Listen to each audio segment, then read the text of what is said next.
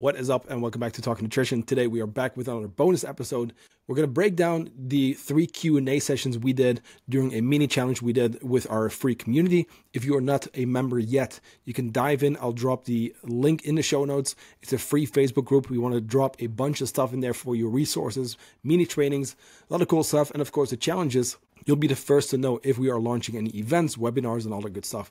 So go ahead. In the show notes, you'll find that link to our Facebook group, couple questions, no strings attached. It's really just extra help because once again, we, we kind of know that nutrition gets a little overwhelming, and especially when it comes to training, there's so many different opinions, and there's mindset work, which is really the foundation, right? So we're gonna dive in for the next six Thursdays in a row. We'll be breaking down the Q and A's, starting with two episodes on nutrition, then two about training, and then two on all things mindset. Enjoy. Celia says, "Hey, in periods I don't sleep a lot. Uh, life with a toddler, something a lot of our clients go through."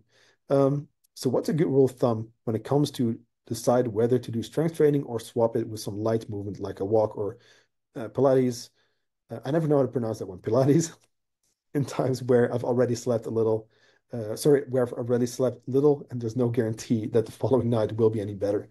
Um, okay, so it depends. I think it's going to depend largely on the level of exhaustion, I guess, how tired are we? Is it like a, I don't know, did we have a three hour night? Or was it maybe more like five, six? Right? Do we feel a little tired? Or do we really feel like, hey, actually, you know what?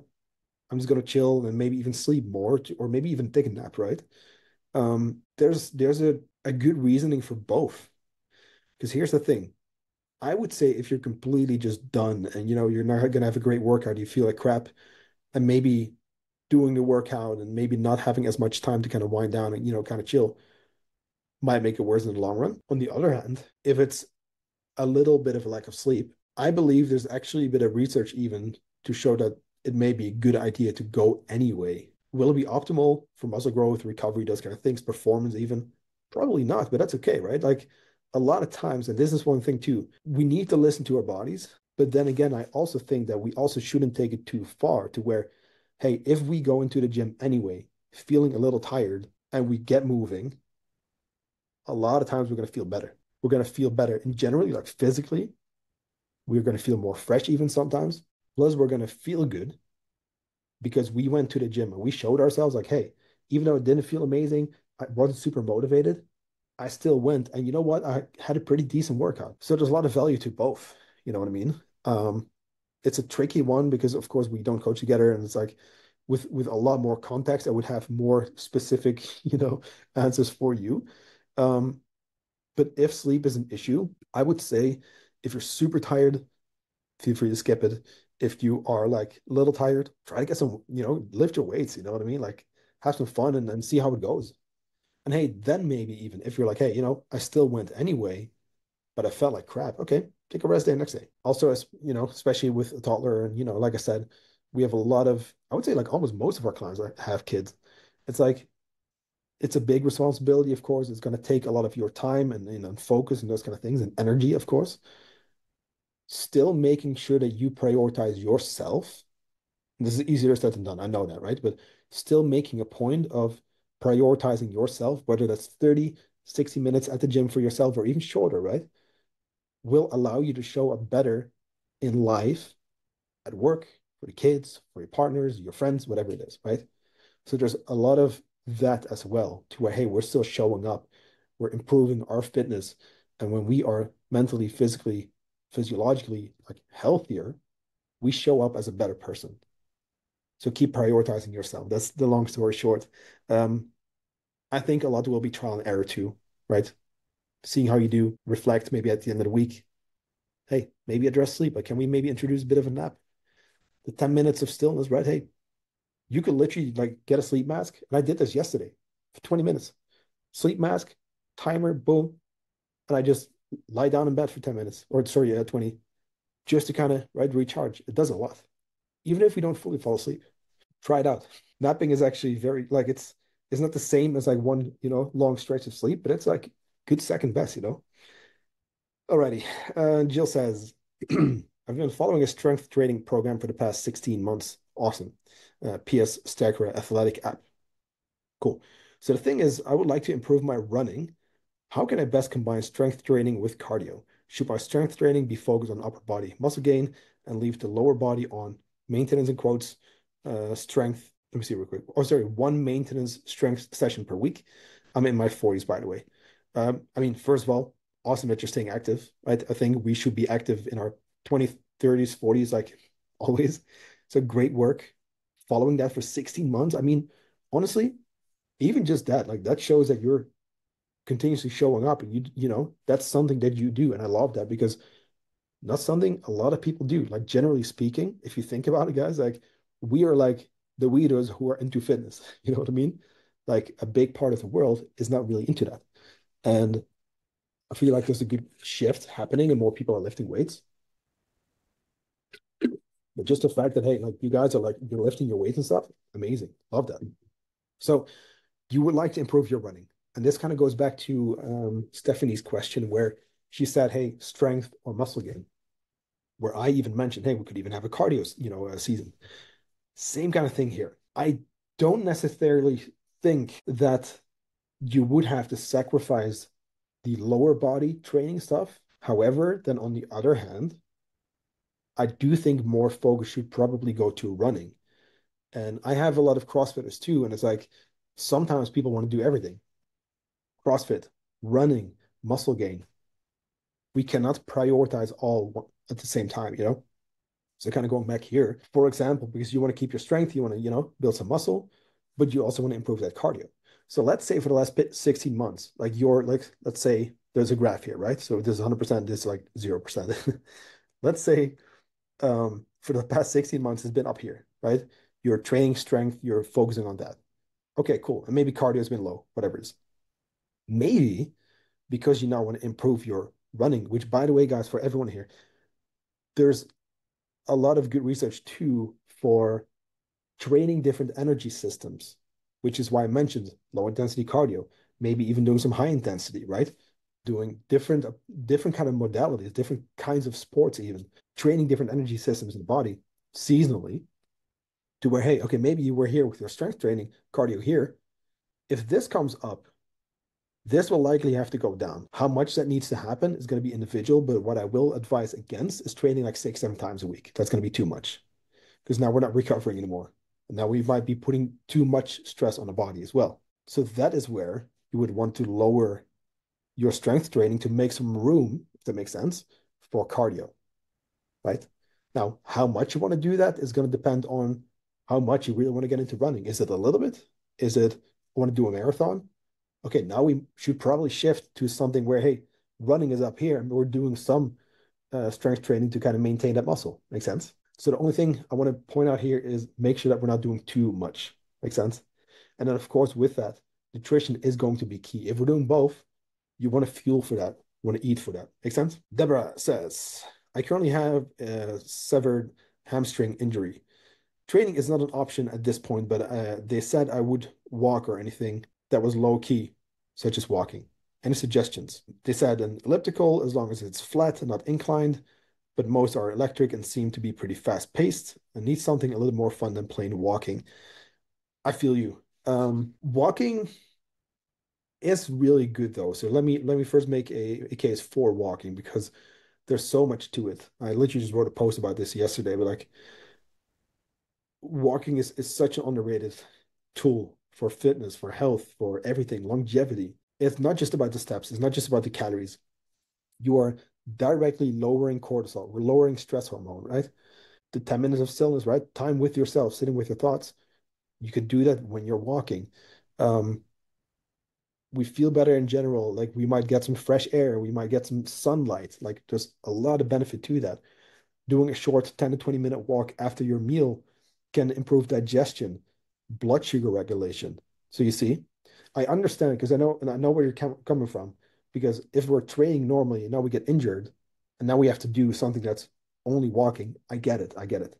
However, I will say this: the health benefits to doing some low intensity walking, especially when you're injury, sorry, when you're healing from an injury, are massive, right? And then, of course, we can bring it up. Now, to your question, of course, right, it's going to depend on what they say is okay I would say that cycling is really good. Like if you can get a stationary bike or maybe even go to the gym, and do some cycling there, amazing. I don't know if rowing would be a good option. Um, I've seen people do a lot of swimming also, like after sorry, like after injury during recovery. But it really depends on type of injury and what you are, you know, okay to do basically by the doctor. Um, elliptical could work, you know, could work. It just really depends. Uh, you're right, because somewhere electric, like I'm, I'm not fully sure there. I'm not the fully, I'm not the most experienced with elliptical.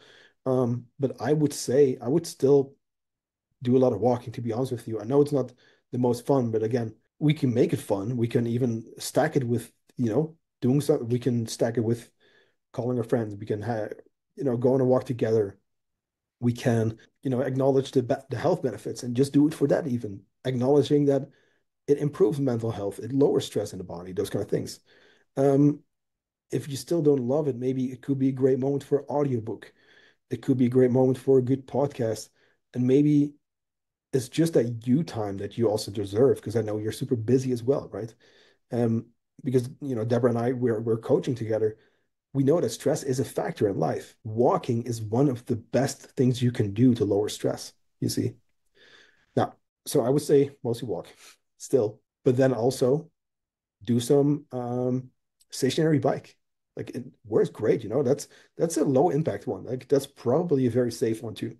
Um, and anything else, I would really clear that with them. But again, like you can make walking more fun. Make sense? Iselin says, I can't motivate motivate myself to do deadlift, squats, and bench press.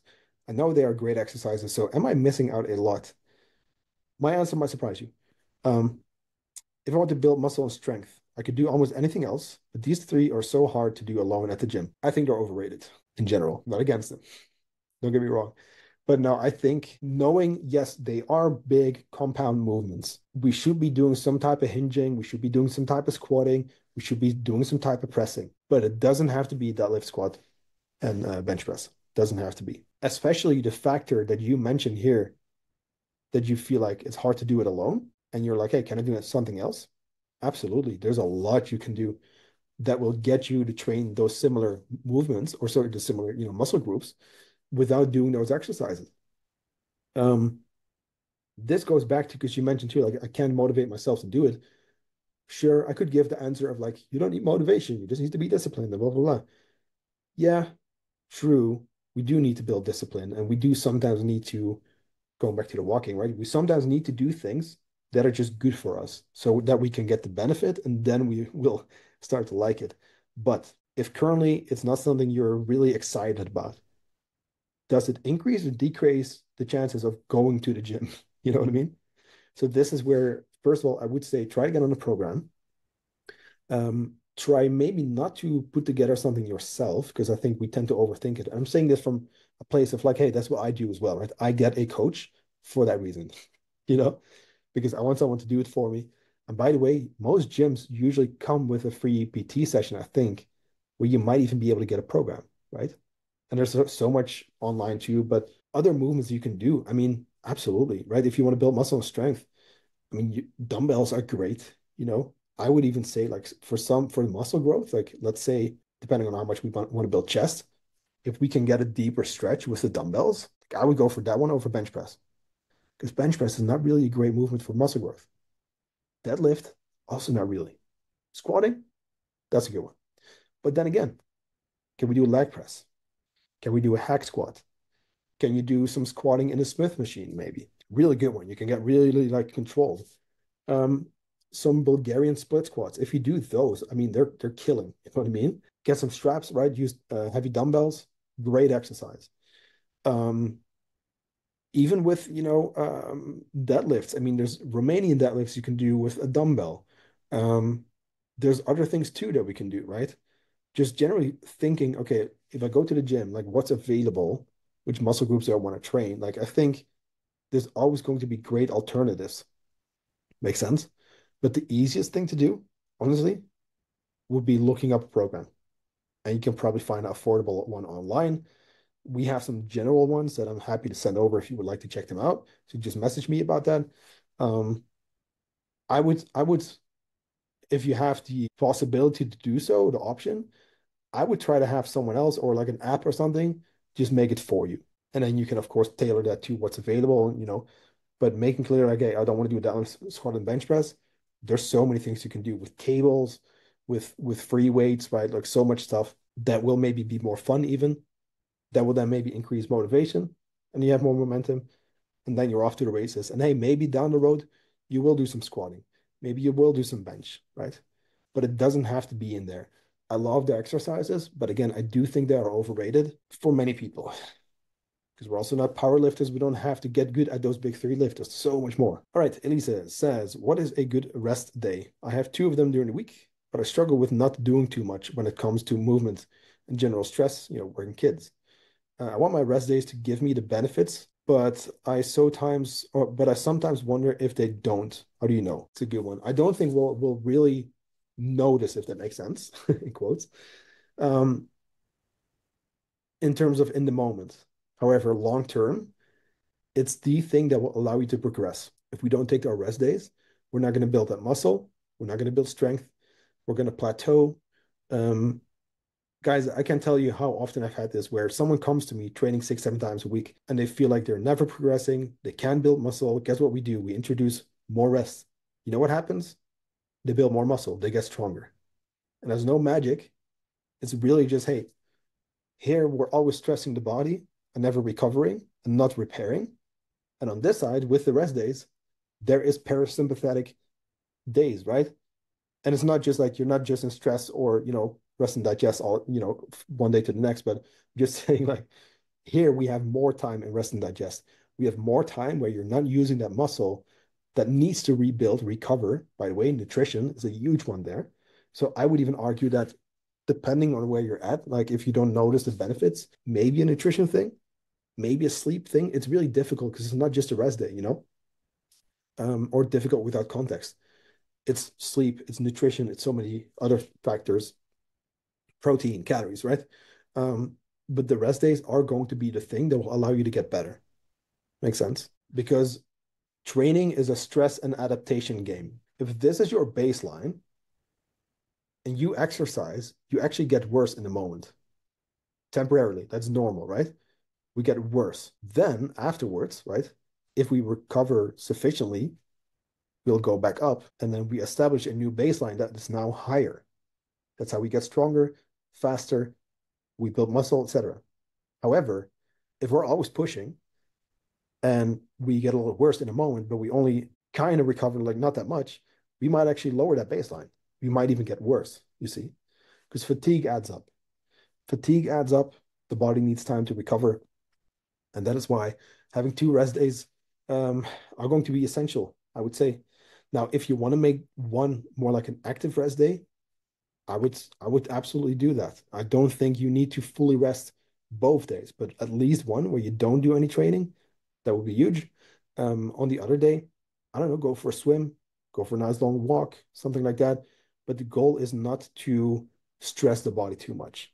Going back to walking, that's one of the biggest things you are burning more calories, you are doing more physical activity, right? It's good for so many things, your blood markers, those kind of things.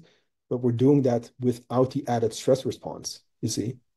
So it's without increasing cortisol, we even lower cortisol. Make sense? And says, are two strength training sessions a week? Let me see real quick, because that's a big sentence. Are two sessions a week Mark Rippetoe's training, starting strength method, three sets of five, barbell squats, press, deadlift, and bench press together with a daily step count of 10K and some hiking in the mountains or gravel road bike tours at the weekends enough.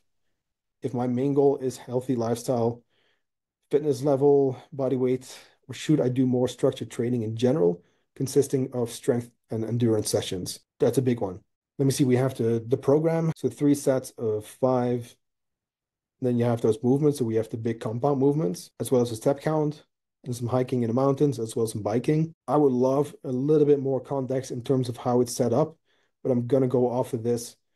So I think all of the compounds here are good, right? We're doing daily movement, you know, we're hitting our 10K steps, we're getting some hiking in, so you're getting out of nature. I just put out a blog recently on the benefits of that. So that's even more of a benefit for your mental health and lowering cortisol and immune system and stuff. Um, The bike tours are great. I love that as well. And I know you really like your endurance stuff, right? And being fit. You did also mention fat loss, right? The body weight in this case. Would this be enough or good, or should you be in a more consistent kind of strength and endurance program? I think, first of all, it would be getting clear on the main goal, the priority right now. I think the, the steps can be there. First of all, I think you should be getting out of nature, absolutely. I think when it comes to endurance and training, sorry, the endurance and strength training, I would approach that seasonally and look at, hey, what do I want to do right now? I can tell you this. Knowing how much, I mean, people in general, but I mean, 75% of our clients are female. Knowing how much focus and pressure there is in terms of like dieting and being lean and those kind of things. I I always wonder like how much time have we spent actually actively trying to put on muscle, feeding the body up, eating enough, getting all the, the calories in, the macros, the micronutrients, and really just making sure we get all the good foods in. That would be huge. Um, and that being said, strength training would be an amazing combination there. So now we're going to build muscle. The body, like, it'll build muscle when it can, like, when it has the resources. Muscle takes a lot of calories to build, resources to build. It is expensive tissue to have. It burns more calories. So it's almost like, from a survival standpoint, it almost doesn't necessarily make sense to build energy expensive tissue if there's not enough food coming in. So, and of course, this is more nutrition, but like it, it always goes hand in hand. I would say what's likely going to be a good one because you're you're mentioning fitness level, weight and stuff. Either way, what I do with all of our clients is first making sure, hey, we feed you up. So I would even go here probably for like a strength training focus season to where we feed up as well. We really try to push that maintenance calorie range, really try to find that. Having some endurance on the side of that, absolutely, trying to keep up both. And depending on your schedule, I don't know, maybe you want to do again, like maybe three to four strength training sessions, maybe one or two cardio. It really just depends what you want to prioritize. But building some muscle, going potentially into a cut at some point, maybe two to three months, kind of depending on how lean you want to get. Um, going back up, and then maybe the next time you're going to do maintenance, maybe do more of like an endurance kind of season, right? Maybe you could even align this with the, the actual seasons, right? Summer, etc. Right? Hey, maybe winter is a great time to put on some muscle. Maybe summertime, we want to be outside more. Hey, maybe we're going to go on more bike tours. You see? So those are all great things to keep in mind. And I think periodization is going to be super, super key there as well. Um, feel free to to shoot me some follow-up questions and comments there as well, because I know I need to kind of give like general answers here. Um, I hope that helps. But I think generally speaking, it sounds good. But long term, having a structured program based on the season you want to be in is going to be key. Because a lot of times we want to do everything all at once, right? That's one for today. Um, also, guys, right, the things that are mentioned in the Foundations Crash Course which by the way you have access to, right? AKA the slides I wanted to pull up today. We basically touch on it. There's one more thing I wanted to do. So real quick, so Karina, how many days should one do strength training and how many days should uh, one do cardio during the week? I like to combine and do both strength and cardio once a week, but I noticed that I need quite a long time to recover. Is it worth it? Should I separate the two? Generally speaking, um, if we do the same thing, or if we do both on the same day, I should say, then whatever the second workout is will suffer typically. We've already used up a lot of fuel, a lot of resources. My experience, a lot of people are not properly refueling even in between. So going into that second season, we might already start on low low tank, right? That's okay. If that works for your schedule, it's not a bad thing per se. However, what I would say is again going back to priorities. I think also understanding that yes, guys, and by the way, it doesn't have to be either or either. It's like if you really want to do both, you can do both, but both will just not be fully optimized. Make sense? It's like, hey, optimize this side, optimize this this side, or kind of do pretty good at both. That's also one option. You see? So going back to things being individualized. Um, no, I think um, it's hard to say, generally speaking, how often you should do strength training.